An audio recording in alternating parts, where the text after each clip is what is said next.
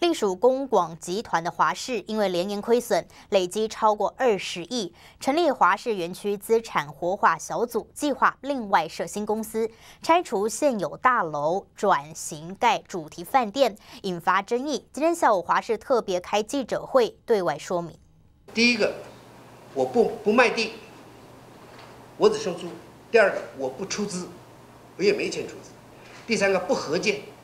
本月一日，民进党立委陈廷飞在立法院教育及文化委员会质疑，公广集团为活化华视资产，另设新公司专责管理华视园区逾两百亿资产，发现决策过程草率又粗糙，二月才拟定初步可行性的报告，五月就要让政府部门同意活化计划。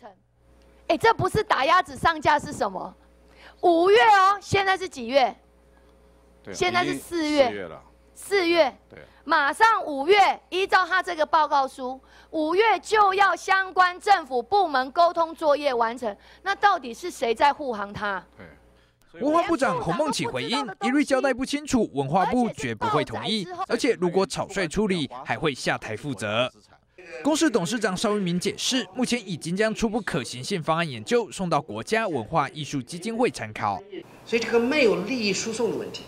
所有的招标都依照法定的程序来做，亏钱主要是人谋不臧，董事会没有能力找到专业的经理团队来改变这个趋势，嗯，就用这个卖家产的方式把华氏大楼变成旅馆来经营，我认为这是杀鸡取卵。连年亏损，成立四十三年的华视负债已达二十四亿元，似乎资产活化势在必行。但冯先生指出，华视董事会在明年八月就要卸任改选，怎么会选在卸任前一年多就急着签约？但又如果决定不当，将驷马难追。新唐人亚太电视正义好黄庭锋台湾台北报道。